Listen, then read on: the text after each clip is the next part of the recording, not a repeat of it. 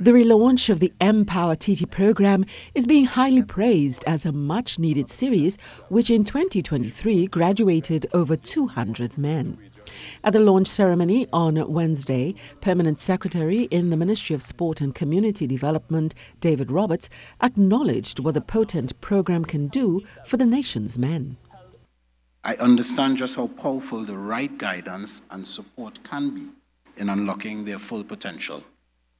The MPower TT program represents a bold vision. A vision of a Trinidad and Tobago where every single young man, regardless of his circumstances, has the opportunity to chart his own course towards a rewarding life as a respected member of his family, his community, and of this country.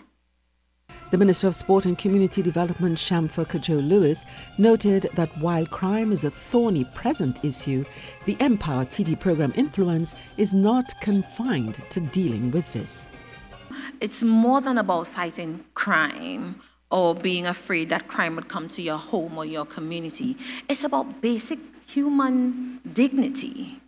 It's about love. It's about respect. It's about living. It's about serving. It is about doing what God placed us on this earth to do.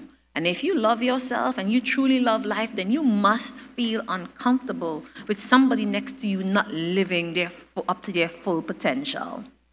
The MPower TT program coming out of the Ministry of Sport and Community Development is one in which mentors work with vulnerable young males. It strengthens the current network supporting male empowerment and addresses issues to deepen male development in their communities.